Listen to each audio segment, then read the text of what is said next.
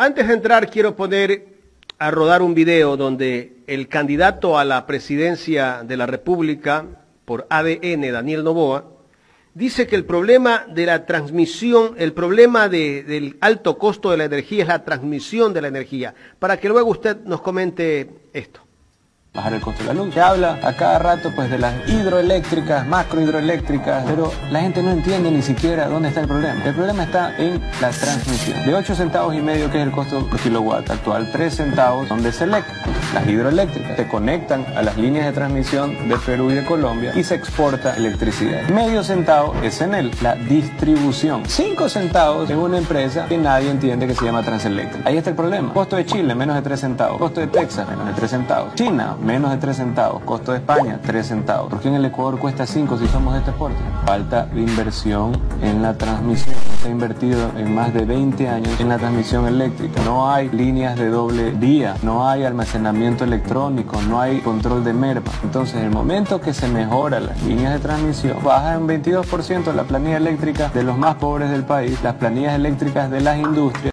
Doctor, ¿Está hablándonos con la verdad el candidato o tal vez él no entiende lo que es el costo de la transmisión de energía? Mire, licenciado Jaimito, yo no sé, a propósito de esto, yo le pasé una pequeña tabla que quisiera que por favor, en primer lugar, si es que es, si es que me es tan amable Deme un minuto y la ponemos en pantalla. Con gusto, claro, claro. bueno, eh, mientras eh, se coloca la tabla, yo lo que le puedo decir, verá, yo fui durante 20 años eh, profesor de la Escuela Politécnica Nacional, ahora ya no lo soy. Pero siempre me gustaba a mí tener una relación con los estudiantes, ¿no? Y yo ahora me quiero dirigir, dirigir especialmente a los jóvenes y decirles que este discurso cantinflesco no sirve absolutamente para nada. Entonces, lo que yo quiero decirles a los estudiantes y a todos los jóvenes hoy día es que si buscan seguir este ejemplo, este ejemplo no sirve absolutamente para nada, ni en la vida, ni en la vida profesional tampoco. No sirve, porque en la ingeniería especialmente, como se dice vulgarmente, más pronto cae el mentiroso que el ladrón. Estas falsedades se pueden eh, encontrar que son tales en minutos, a veces en segundos, ¿no?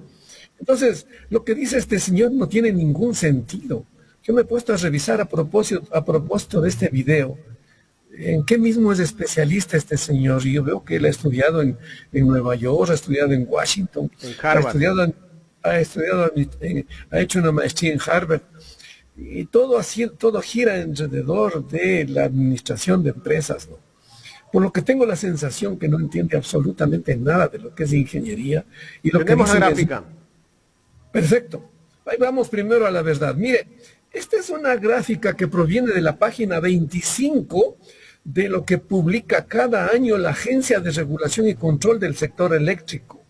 Esta es la que corresponde al año 2022.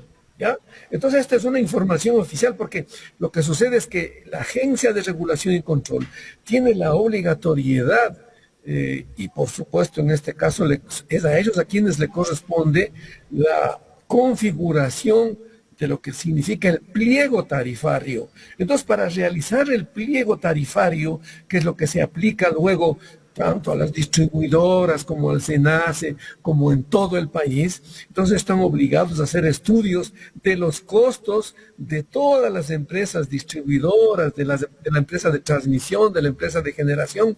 Y esta pequeña tabla es un resumen de aquello. Aquí le plantean para tres escenarios, un escenario semilluvioso, un promedio y un escenario seco. Es obvio, por ejemplo, en la generación usted puede ver ahí en el semi lluvioso 3.08, ¿no es cierto? Y en, la, en, la, en el promedio 3.18, 3 centavos 0.8.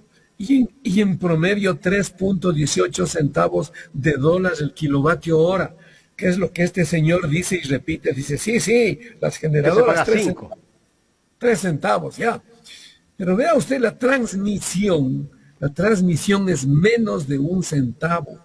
es 0,7 en el un caso y tomemos el promedio, es 0,7 centavos, 0,703 es lo que cuesta la transmisión. ¿Ya? El Señor dice cuesta 5 y luego dice, pasa a decir, no, pues es que claro, eso está mucho más caro que en China, que, que en Chile, que en China y la, y la coche en China, lanzándonos unos datos. Y después nos dice unas cosas raras de, de líneas de transmisión de ida y vuelta de, una serie de cosas que yo creo que ni él mismo se entiende. A mí me pasó que yo tengo mi nieto de 17 años. Y digo, oye, mira este, este video. Dice, me parece muy bien el video. Le digo, ¿y entiendes? No, no entiendo nada, dice. Pero da unas cifras, da unas cifras. Y me parece muy inteligente. Yo, como es mi nieto, obviamente, como le explico, le muestro este cuadrito, le digo, está mintiendo. Eso no es verdad lo que dice. Es una cantinflada esto. ¿Ya? Y entonces, cuando se dio cuenta, dice, sí, efectivamente, esto no es así. Dice, ¿por qué es que miente este señor? Yo digo justamente por eso.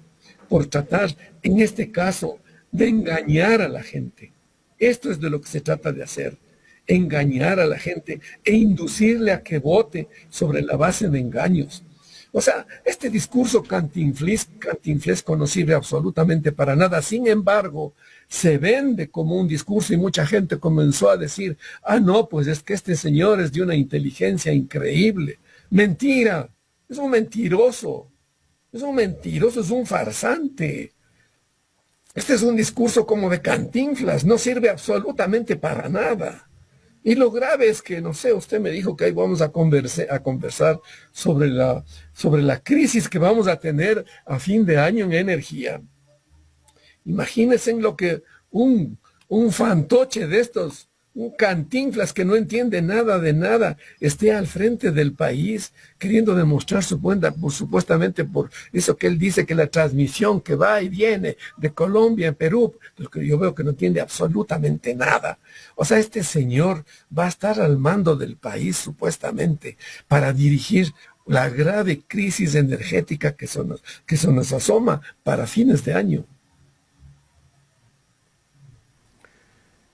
Es preocupante, porque en primer lugar nos está vendiendo humo, mintiendo.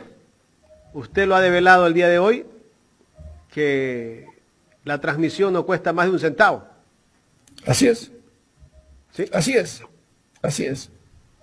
¿Y quiere ser presidente? y mire, o sea, yo le he comenzado a seguir la pista a este señor, ¿no?